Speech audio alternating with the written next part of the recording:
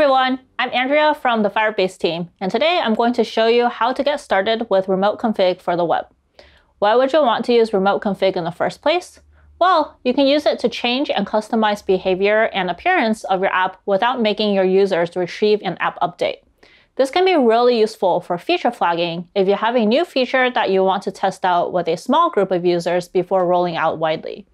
It's also useful in A-B testing for when you have different approaches to solving a problem and want to test them out to see which option yields the optimal user engagement or retention or other result.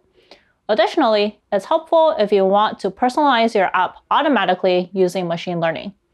The best part of all of this is it can be done with just a few lines of code. So let's go ahead and see how we would do this. There are many ways to include a library in a web app, but in this video, we'll be using NPM and Webpack. If you want more information on how to set that up with Firebase, check out this other Firebase fundamental video. Let's get started. Here, I'm in my editor and starting from the same starter code you'll have at the end of our setup video linked in the description. Following that video involves installing Firebase with NPM, which means you'll have remote config ready to use as well. So now in my entry point file index.js, I can initialize a Firebase app after grabbing the configuration information from our Firebase project in the console. Next, we'll have to get the instance of remote config, which holds all of our parameter values. Every Firebase subpackage has a getter function that retrieves an instance of a service, like remote config in this case. As a side note, don't worry about calling this getRemoteConfig function too many times, as it returns the same instance when you call it with the Firebase app. Now, let's do something fun with remote config. We're going to display a Spanish greeting message to 10% of Spanish speaking users and an English greeting otherwise. To set up values, I'll need to create a parameter in Firebase console, and then we'll write code to use it in the web app. In Firebase console, we'll navigate to remote config.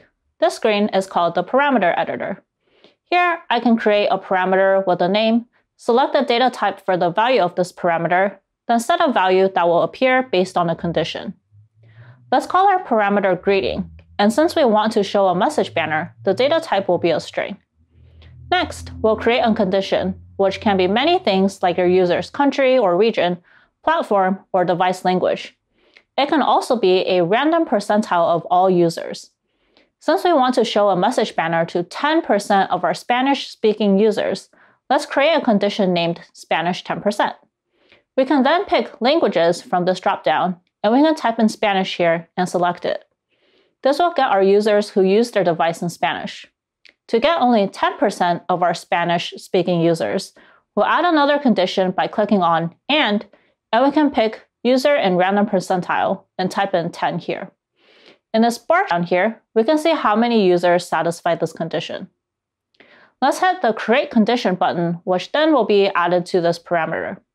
For all users who satisfy this condition, we'll give them a value, in this case, the message banner we want to show. Let's go ahead and enter hola, which means hello. For each parameter, we'll also have to show a default value, the value that this parameter will have when the condition above here is not met.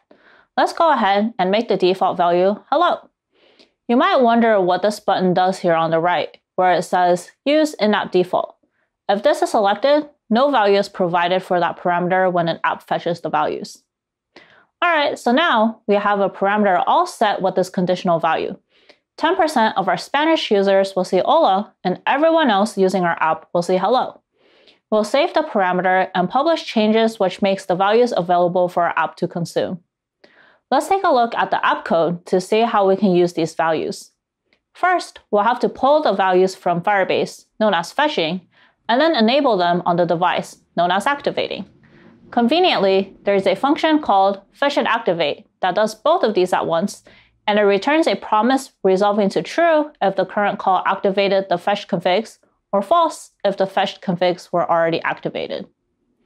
If we wanted to fetch or activate only, there are the respective functions to do that as well.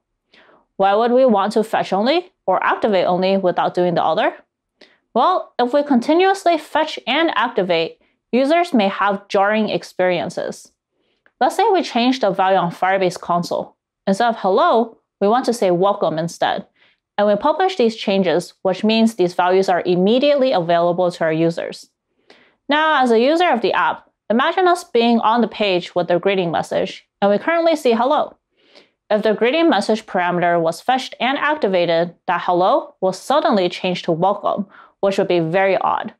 Imagine if these jarring experiences extended beyond a greeting message. What if some functionality changed while a user was using it? Probably not a great user experience.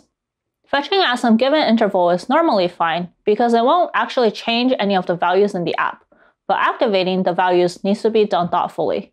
A good time to activate fetched values is the next time a user opens the app because the user will have the same experience while in the app this time. After we fetch and activate the values, we'll want to use those values in the app code to serve to users. To get a particular parameter, we'll use the parameter name as a key to get the parameter value from the remote config object. Whatever value gets stored in the greeting variable is the value served to a user for the greeting parameter. And just as a reminder, since we set it to be hello or hola in the console, users will be served one of those values based on whether they satisfy the condition of being a Spanish speaker in our randomized 10% user group. We'll use this variable in our HTML element that displays this greeting. Related to fetching and activating, fetch calls are throttled and return an exception if an app fetches too many times in a short time period. The default minimum fetch interval is 12 hours, meaning configs won't be fetched more than once in a 12 hour window, regardless of how many fetch calls are made in your code.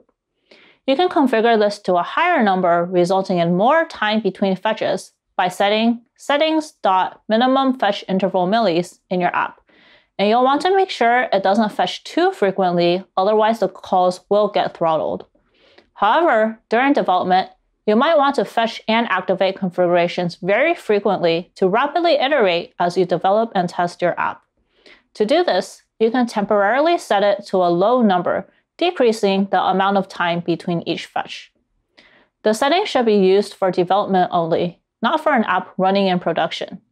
If you're just testing your app with a small 10 person development team, you are unlikely to hit the hourly service side quota limits.